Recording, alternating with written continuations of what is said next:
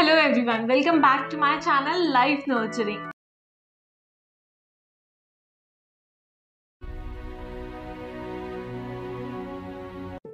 चलिए सबसे पहले इंट्रोड्यूस कराती हूँ एक फादर से। वो चाहते हैं बड़े होके उनका बेटा बने डॉक्टर चलिए अब इस स्टोरी के मेन करेक्टर एलेक्स जो अपने पापा के सपनों को चूर चूर करता हुआ अपने झाड़ू को गिटार समझ के बजा रहा है।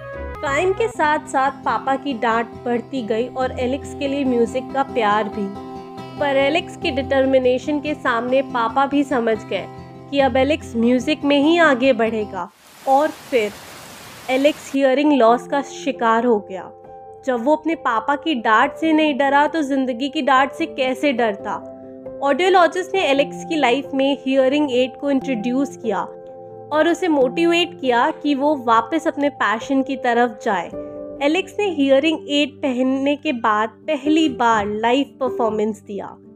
आखिरी में वो अपने हियरिंग एड को हटाता है।